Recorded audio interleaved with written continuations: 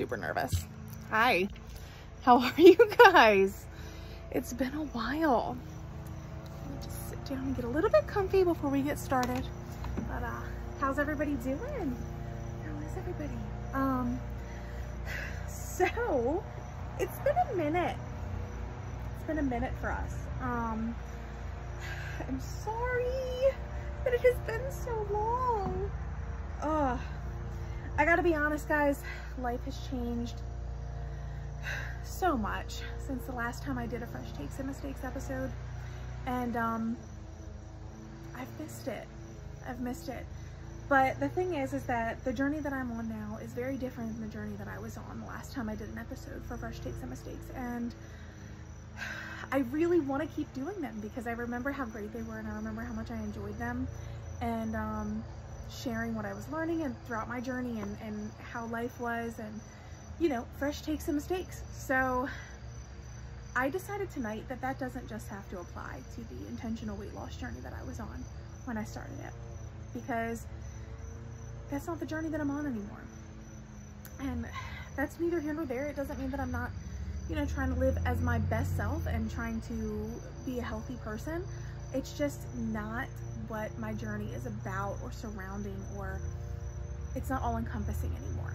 So, but I missed you guys and I was journaling tonight and I thought, God, this would be great to share with the same people that I was sharing Fresh Takes and Mistakes with. This would be great to share with my friends. This would be great to post about and start a conversation and I am so excited to be doing this. And I do plan on going back to a semi-regular schedule, maybe like once a week, um, like we did before. So if you want to engage with this, if you want to have a conversation about this, I am here for it. I want to hear what your thoughts are. I want to hear what you have to say because this journal prompt that I did today came from a self-love deck, the self-love deck from Ace. I gotta tell you, apparently my eyesight's not as good as it used to be. Ace Metaphor, tonight's conversation, the card game. There's apparently a bunch of these, but I loved this when I got it for Christmas this last year and I loved it. So tonight I sat down to journal and I didn't really have much to talk about. So I picked out one of these cards and I got to every time I pick one of these, it's great. It hits, it's fantastic. And it gives me a lot of insight into what is happening in my mind. And I just am excited to share with you.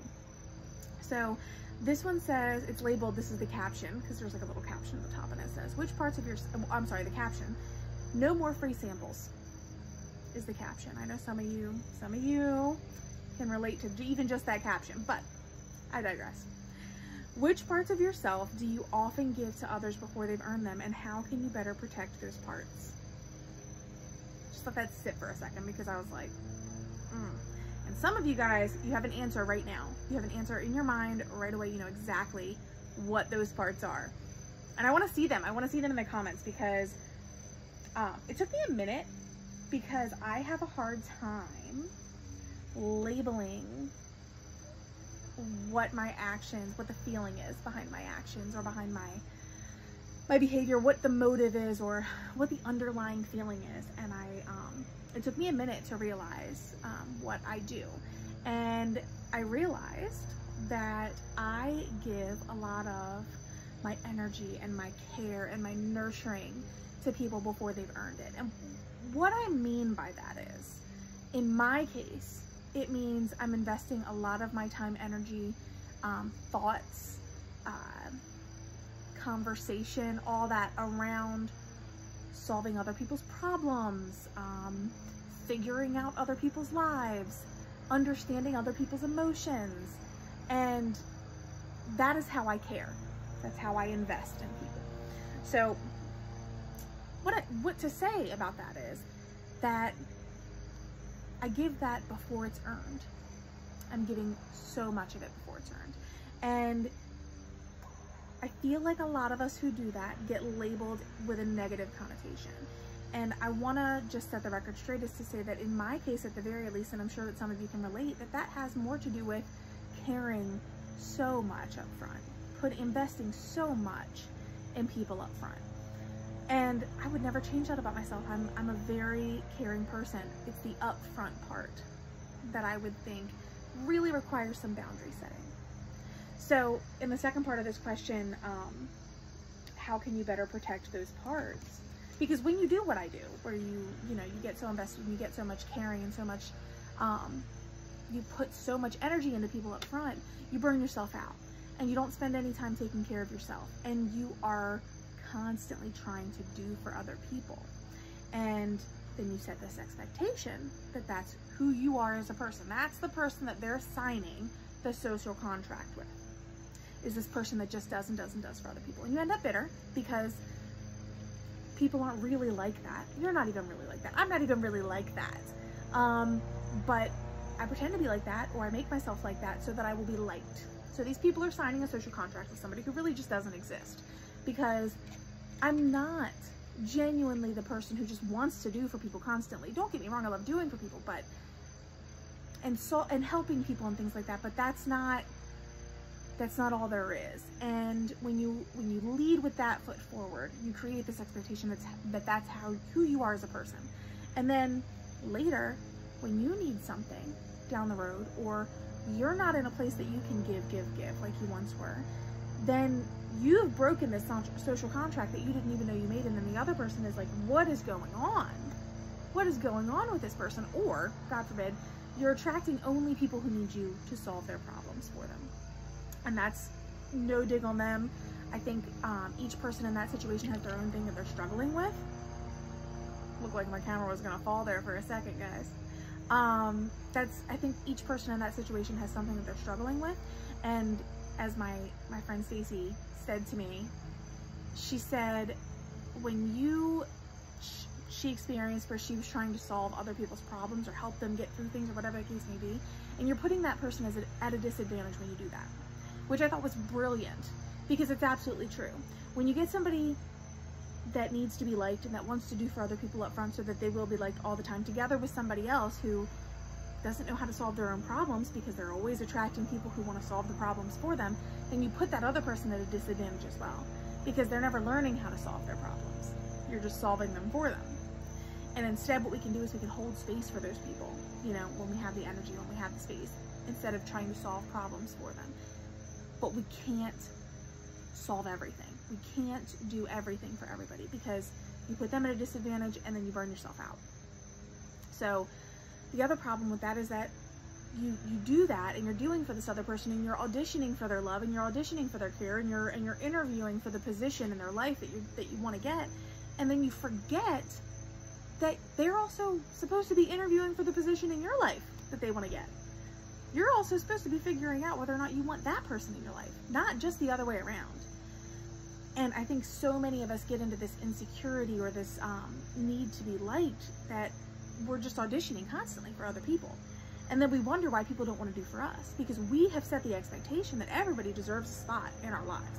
Everybody deserves to be in that position that we're that we're not even inter interviewing for. They don't. There's no requirements. There's no pre prerequisites, aka boundaries, aka expectations. You can't you have to set these things with the people that you have in your life, otherwise you're always going to end up disappointed. And if you're the person like me who's going out of your way and putting so much energy and putting so much thought all the time, then when you don't get that reciprocated back, you're going to be bitter. Because you signed this social contract that you were going to be this way and they didn't. But in your mind, because you were this way, because you showed this much care and nurturing and love and energy and all this stuff, you thought that they should reciprocate all the time. And you should be important, the most important thing when you finally need something. That's not fair because they never signed that social contract. And then on top of that, I mean, it goes even deeper to think you're not doing all this out of love and nurturing and care. Like, yeah, you care about the person, but you're really doing this to be liked. And again, it goes back to how can you really know if you love or care for this person? You never interviewed them to see if they deserved or even really wanted the spot in your life that you wanted them for. And did they want it with you or did they want it with the person that you were pretending to be when you were giving so much care and energy and time and everything into this up front from the beginning without any pre prerequisite. So, I don't know, that's just food for thought, but I would love to hear what you guys have to say. Which parts of yourself do you often give to others before they've earned them, and how can you better protect those parts? The answer to the second question for me is we just have to show up as our most authentic selves. And that can be so hard because rejection is terrifying, especially for women. Um, because I think that we don't grow up as the pursuers. Um, I think that's getting better. I think things are changing, but when you're not growing up as the pursuer, you're not growing up with the ability to handle rejection. So um, you have to kind of learn who our most authentic self is and then learn to show up unapologetically that way. And that is terrifying. I am learning it still right now at 30. Um, and I know people much older than me that are also learning it or have never learned it. And people who are much younger than me who have seem to have been born into the world with this ability to be their most authentic selves. And I just, I admire it so much.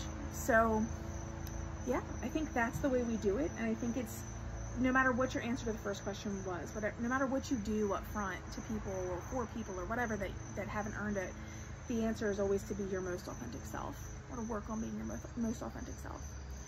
Um, and to set those boundaries, which is a part of being yourself. I would love to hear what you have to say um, and see what your answers to those questions are. Maybe I'll do a couple of these. Maybe that's what we'll do or or other journal prompts. I get journal prompts all over the place. Um, I get inspiration all over the place all the time. So I look forward to keeping sharing these um, little tidbits, these little thoughts with you guys uh, and connecting with you once again because I missed you so much. I missed your interaction. I missed sharing my lessons with you guys. And I'm hoping that now this can be a little bit more of an interactive space where maybe you can share me, share with me your fresh takes and mistakes